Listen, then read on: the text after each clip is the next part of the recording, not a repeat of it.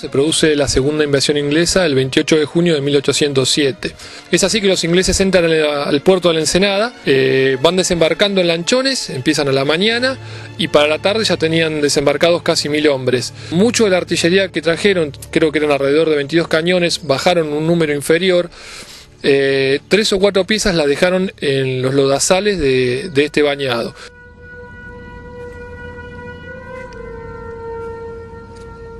Se decía los ingleses cuando llegan a la zona de Berazategui y van pasando los bañados, eh, se sacaron, digamos, lo que era su frazada, sus cobijas, las tiraban para hacer camino a los lagos porque decían, esta noche igual vamos a estar calientes dentro de las habitaciones de la ciudad de Buenos Aires. Es que encontraban un territorio o, o iban cruzando zanjones que a veces el caballo, los oficiales iban a caballo, perdía la vertical de lo profundo que eran, ¿sí? Y que la vanguardia encontraba un terreno y al pisotearlo, la retaguardia se les complicaba muchísimo pasar por ese mismo terreno. O sea que si el terreno fue un factor muy muy importante como para deteriorar eh, las fuerzas inglesas.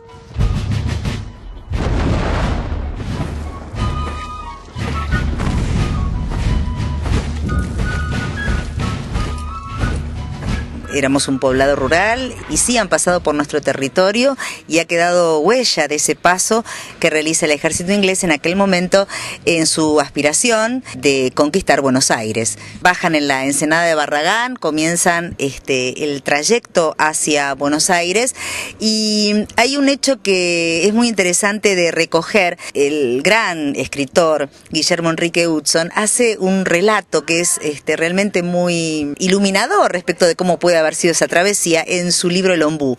Él menciona que los ingleses van avanzando y bueno, y que se produce una gran polvareda y hay reflejos este, de estos fusiles que brillaban y que en determinado momento el ejército en su avanzada se enfrenta con los arroyos. Obviamente nosotros ahora tenemos puentes para atravesar eh, nuestros arroyos, nuestros ríos. En aquel momento no lo sabía, este, motivo por el cual deben enfrentarse con el barro eh, en las zonas más bajas y Hudson relata que los ingleses este, tiran sus mantas para poder cruzar este, sin, eh, sin ensuciarse, ¿no? sin embarrarse